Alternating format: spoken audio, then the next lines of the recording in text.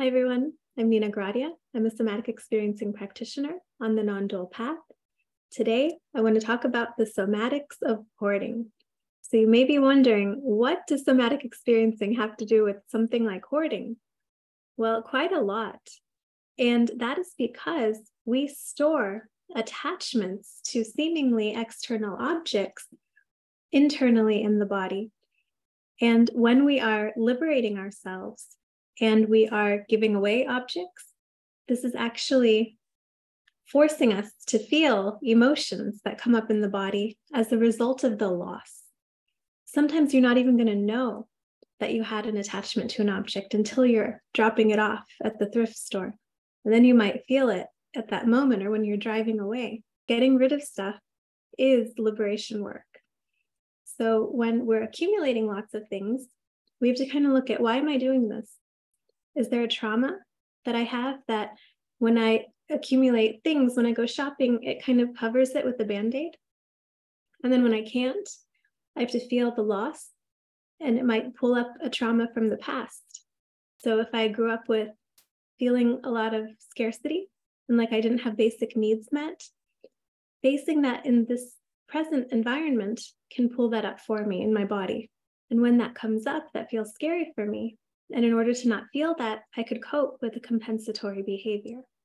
Or perhaps I have a trauma around not feeling like I was enough. But if I had that object or if I looked this way, then I would be enough. So instead of dealing head on and facing the feeling of unworthiness or shame, we can use these behaviors and objects to cover up feelings and it's going to still come up because there's going to be a moment where you can't. There's going to be something that you can't 100% account for.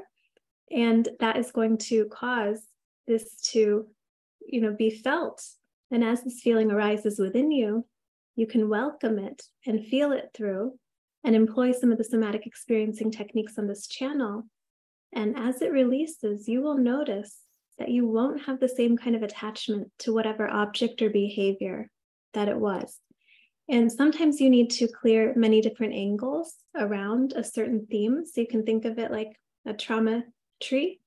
And so we're clearing different branches of a similar theme. So if this is like unworthiness, and then I feel unworthy if I can't wear a certain kind of clothing or if my hair doesn't look a certain way, and you can clear each of these things. And then maybe that leads into something that happened in childhood. And then I clear that. And so the more I'm clearing around this theme of unworthiness, it's going to start shrinking. There's going to be less material and more space that you can hold it in your container. So you can kind of start exploring like, why am I holding on to some object? Maybe something is sentimental and I haven't gotten over somebody in the past that's not there anymore. And if I were to get rid of that, then it feels like they're really gone. Then I have to feel the loss that I haven't been wanting to fully process. So this can go in so many directions, but as we ask ourselves, you know, is this functionally necessary in my life, this object that I have? Or Marie Kondo's, you know, famous, does this bring me joy? You can start to see if it's necessary or is it just an attachment? And you'll notice as you get rid of these attachments and you face the pain that comes up and you process it, you'll feel so much lighter. And it's not really about the objects, it's about what they're helping us not feel inside. That's where we want to start digging and finding the things that we no longer need there. So it seems like I'm doing external cleaning of house, but it's actually internal cleaning of house as well. And so as we clear out all the impressions and emotions stored in the body. You're still going to have emotional experiences. We're not trying to get rid of feeling. We're trying to help feelings that are stuck in the body just come up and express themselves, which is all they wanted to do. And when they do that, they're no longer jam packed in the body. You have a lot more space. The mind settles down because it only gets kicked up with attachments. So the more attachments we're clearing from the body, the mind is going to be more at peace and we're going to have a lot more presence. I will link here a video I did on attachments earlier that will go into this topic a little bit more. But with the hoarding, it's usually some sort of trauma or some sort of ego attachment to objects, to belief systems, to ideas.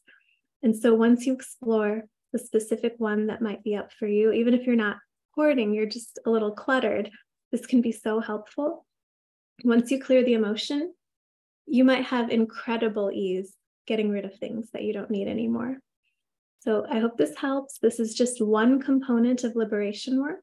Liberation work also includes rewriting our conditioning or programming. So once we've deprogrammed, trying to reprogram, and I will make a future video on this as well. So if you are not sure what I'm referring to when I say liberation work, um, I will link here a video about self-realization and liberation. And so these are the two uh, categories that my teacher talks about the non-dual path. So self-realization, knowing who I am, infinite consciousness, I can't be separate. And then liberation work is the somatic work. So self-realization work is at the mind level, the understanding, the seeing. And then the liberation work is at the body level, where once my mind is calm, it's a lot easier to clear a lot of attachments. But many people start with the liberation side, and that's okay too. It's kind of nice to go back and forth as needed.